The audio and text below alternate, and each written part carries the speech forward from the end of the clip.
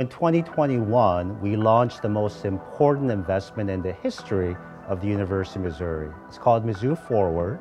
It's a $1.5 billion 10-year investment for us to achieve excellence in student success, research excellence, as well as engagement with the community and the state. As part of Mizzou Forward, we wanted to identify areas that are grand challenge problem for society. And we knew that we had outstanding faculty members working across many different schools that are focused on materials.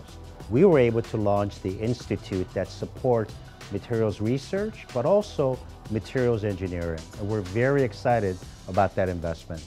So the Material Science and Engineering Institute offers a wide range of research, and I think our particular strengths include areas like nanoscale materials and nanomanufacturing, biological materials, materials under extreme conditions, and also semiconductors and quantum materials. A unique aspect of the Institute is that it's an emergent grassroots effort. As a campus-wide entity, it brings people together from all across the university with lots of different research interests in, in a way that, that integrate efforts from different disciplines. The one area that I'm particularly passionate about is carbon nanotube materials. In my research group in particular, we are looking at synthesizing carbon nanotubes directly within a scanning electron microscope and that allows us to look directly at the assembly process of the carbon nanotubes as they grow, and that's ultimately what determines their final material properties. And so with that capability of, of viewing the carbon nanotube assembly process, we also have a simulation component which allows us to integrate both the video and the simulation to back out mechanical forces and, and, and the processes that are driving the assembly of carbon nanotube forests.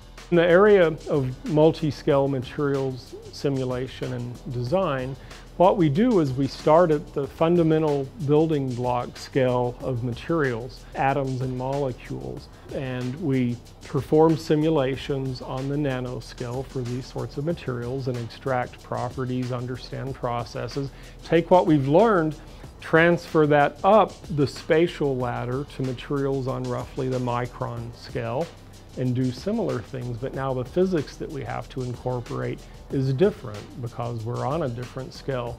And we do this as we work consecutively up the spatial scale until we are able to make predictions for macroscopic pieces of material doing interesting things. We work with a range of materials here and uh, some of them involve quantum materials such as, you know, which, with which you can make a single layer quantum magnet or cloning of Dirac states um, again, new material platform for spintronics, uh, development of organic semiconducting and hybrid uh, perovskite semiconductors with which you know, we can make low-cost optoelectronics such as um, organic or perovskite solar cells and light-emitting displays. So in the current climate crisis that we live in, this research has a lot of impact. It has the potential of um, you know, uh, fast and highly energy efficient electronic uh, devices.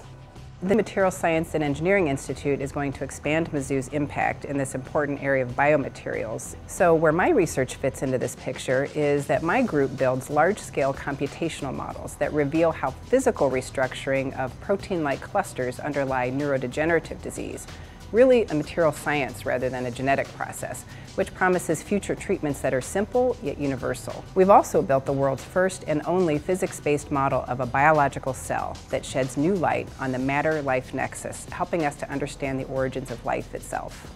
What I hope to see in the future of the Institute is a thriving research and academic program that brings more and more and more diverse groups of people together to tackle problems that in the past would not have been practically achievable at the University of Missouri. Through its role as a hub, we think that this is definitely achievable. A key aspect of Mizzou Forward is hiring faculty members that are nationally recognized in their field. We look forward to hiring many faculty members throughout the many departments in both arts and sciences and engineering to support the growing research programs as well as the growing graduate and undergraduate programs that will attract top students to the University of Missouri. Right now is a very exciting time to be at Mizzou with respect to materials research. We have a rapidly growing materials infrastructure, both in terms of traditional characterization and also a state-of-the-art electron microscopy center.